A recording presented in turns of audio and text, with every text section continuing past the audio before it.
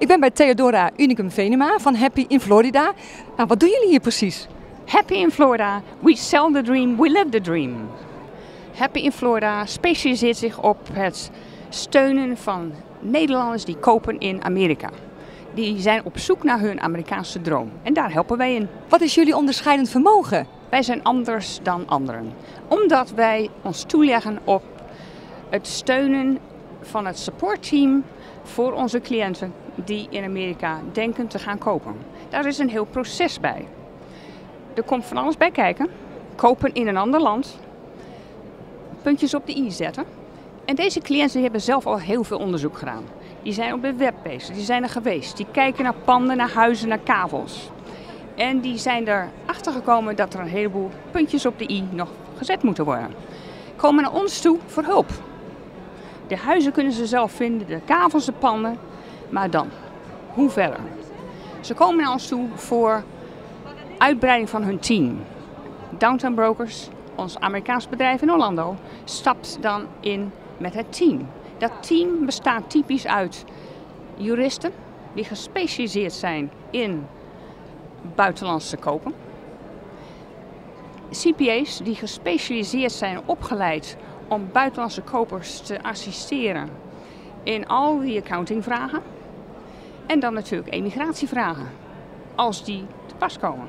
Dus wij zijn het team, het supportteam van onze cliënten. En die zijn op die manier beschermd. Ze komen aan ons naam van andere mensen, hun vriendjes, want daar gaan ze eerst heen. Hoe hebben jullie dat gedaan? Zo komt de hele molen aan de gang.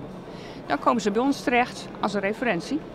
En dan doen wij dezelfde opbouw van het bedrijf in Amerika. We zetten ze op, we zorgen dat het loopt, we zorgen dat de juiste experts aan boord zijn. Want het is echt een expertise. En we begeleiden het hele proces, gedurende het proces en na de koop. Want na de koop zijn er ook allerlei vragen. Er moeten jaarlijks belastingen betaald worden. Er is een belastingverdrag tussen Nederland en Amerika. En dat maakt het heel aantrekkelijk om in Amerika te investeren. Hoe ben je daar nou in terecht gekomen? Dat is een hele interessante vraag. De Universiteit van Groningen. In de jaren 80. En ik studeerde af.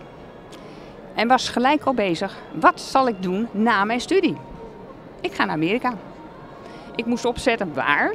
Dus ik dacht gelijk aan de universiteit. En de Universiteit van Gainesville kwam op.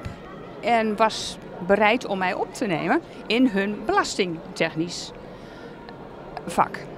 Daar heb ik mij op gespecialiseerd. Meteen na mijn studie in Amerika heb ik mijn winkel geopend en ik was gelijk klaar voor mijn klanten die precies hetzelfde willen doen. De Amerikaanse droom. Hartelijk dank, Theodora. Nou, Carlien, het was geweldig. Ik hoop dat ik jou heb aangespoord tot de Amerikaanse droom. Nou, niet alleen mij, maar ik weet zeker vele anderen ook. Wilt u meer informatie over dit onderwerp? Ga dan naar rtl.nl slash life is beautiful.